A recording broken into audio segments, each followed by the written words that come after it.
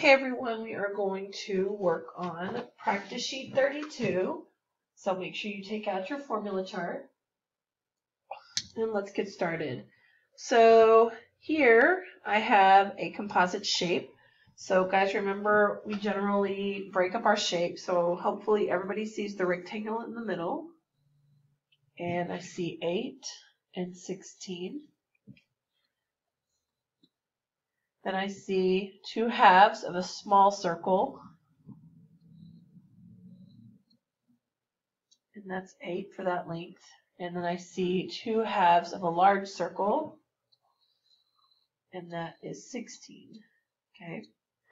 So what is this? What do we call 8? Hopefully you know that's diameter. So go on and label that. And this is also diameter. Okay.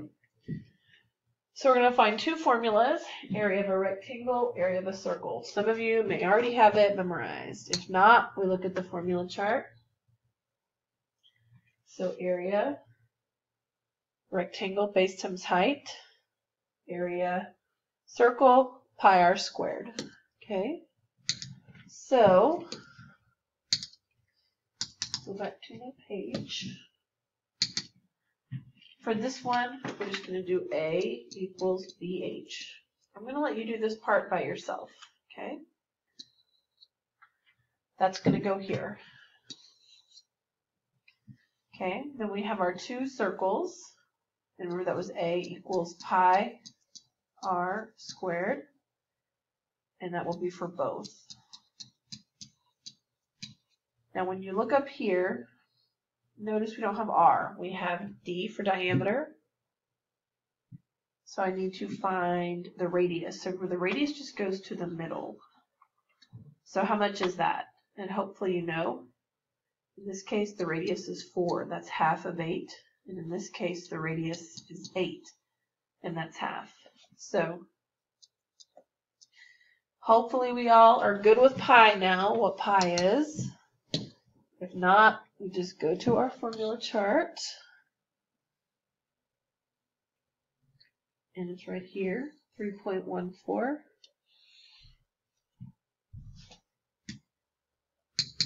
We always use pi with our circles. The radius is 4, and we square it. Okay? So I'm going to show you this one. You're going to do this one. Okay? So remember, 3.14, probably should have given y'all more room, but you can do it on a separate sheet. 4 squared means 4 times 4, which is 16. Okay, so you are going to multiply this one out. Okay, and that will give you this circle. You're going to do the same thing with this one.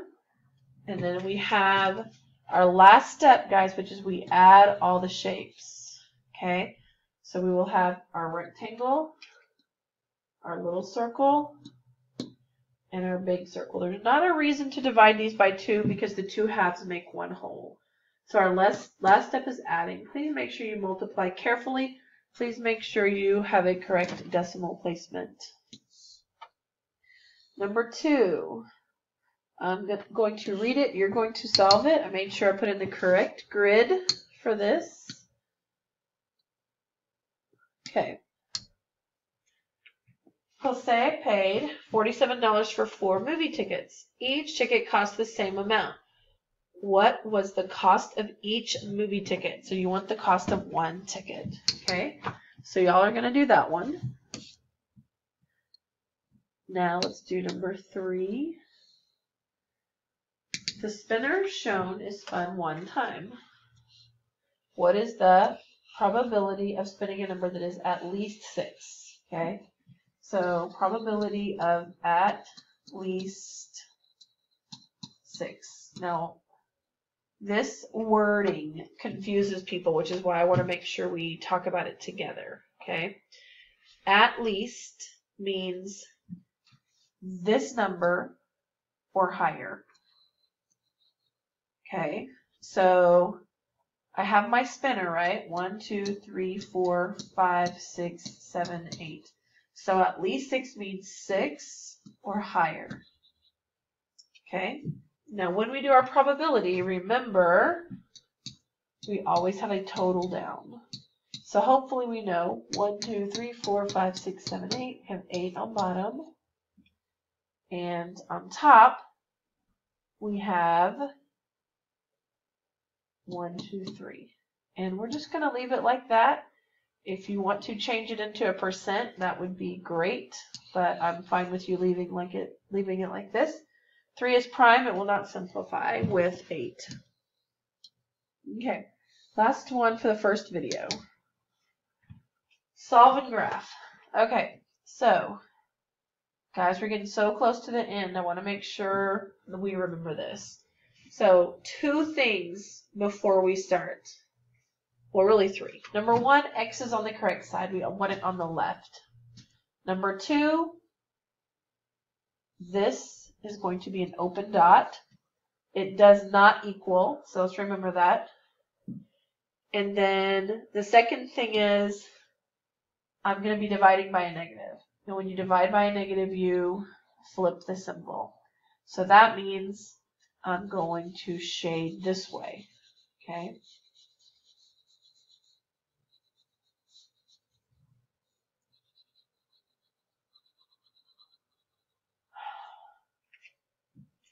Now, if you get this far, there's a good chance you'll get half of this correct at least. Okay. But we do, like, when I say half, as in, I bet 50% of your answer choices will go away if it's multiple choice. Now, if you're creating a number line, then you know immediately what type it is. Okay, it's shaded to the left with an open circle. Okay, so what I would do is obviously get rid of minus, opposite of minus is plus. Okay, 21 plus 5. What is that? Okay. Then I still have times negative 4, so I divide by a negative. This is when I flip. Okay. Now, this part is triangle. So your job is to figure this out so you know what number to put here. Okay. Um,